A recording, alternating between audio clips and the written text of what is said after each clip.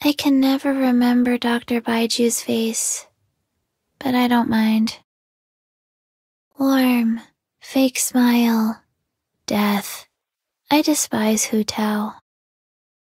Sounds like a historical artifact to me. Remind me, have I met him before? Uh, who? Cute, like a nice little finch. On some nights, I almost feel like someone is doing stretches together with me, but maybe I just have an overactive imagination.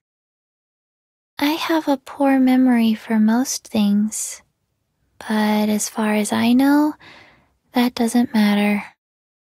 I started memory training exercises recently, so don't worry, I won't forget who you are.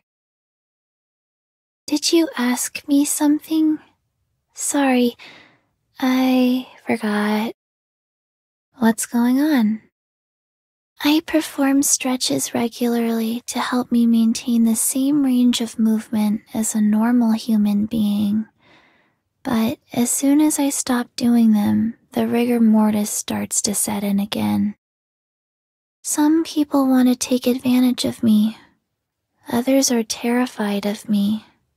But you, you are not like any of those people. Since we first met, I have had a warm feeling inside. Not the kind of warmth that makes me feel rotten. The other kind of warm. The one that happens inside my heart. Thank you. I am happy. Sadly, I only recognize the current you. If I forget you, no, I will order myself to remember you.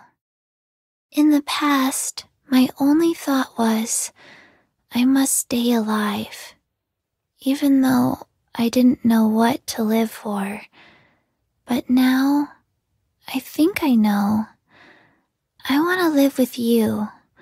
I want to ask, can we always stay together for the rest of life? Until death? Yes or no?